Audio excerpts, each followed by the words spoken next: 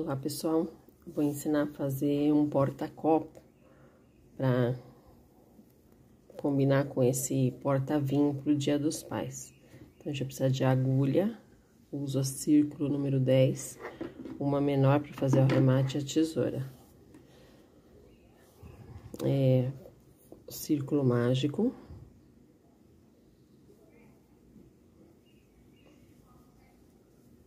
Eu faço nove pontos baixos. Dois, três,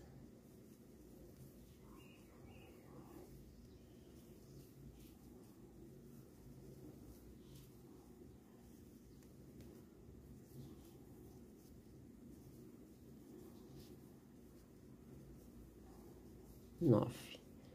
Aí fecha o círculo mágico.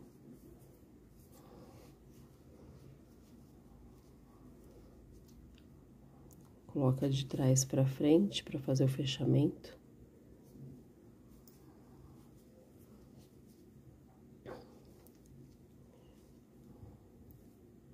O ponto volta para a agulha, dá uma puxadinha e eu já arremato esse ponto, o fio que sobrou junto. A segunda carreira eu vou fazer de ponto alto para poder ficar maiorzinho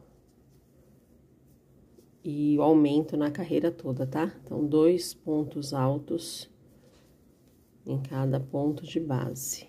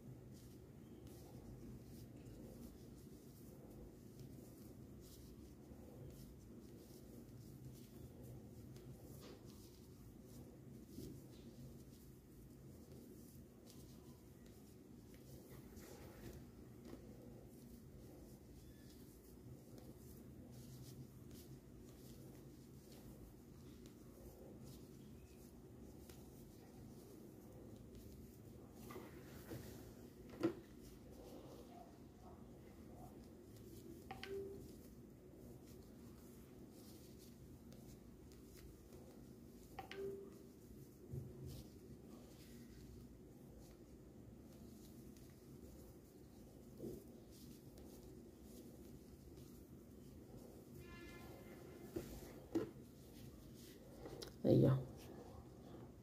Aí vai ficando assim. Aqui, ó, a, o arremate, como eu vou fazer uma bordinha diferente, a gente faz um fechamento com ponto baixíssimo. Vou fazer o fechamento com ponto caranguejo.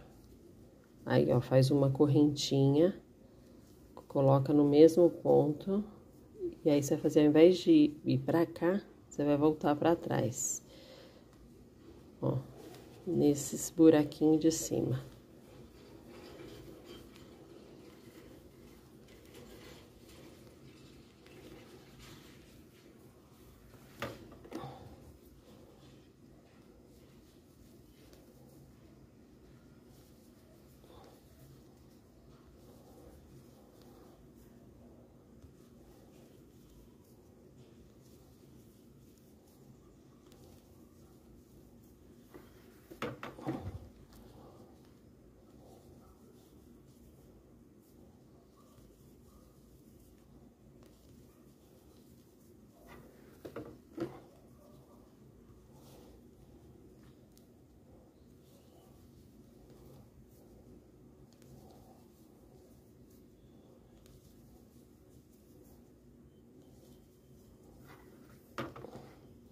É um ponto baixo, né, ó.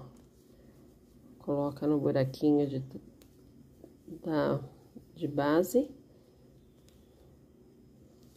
Laça, puxa pra frente e fecha. Aí a gente corta um espacinho para poder esconder o fio.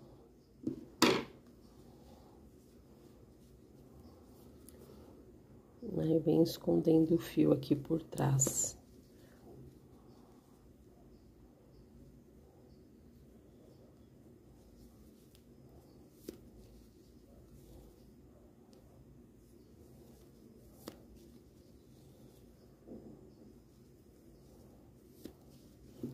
escondeu um, um, tá, algumas carreirinhas, né? Aí, corta esse que sobrou. Corta esse também. E tá pronto o nosso porta-copo.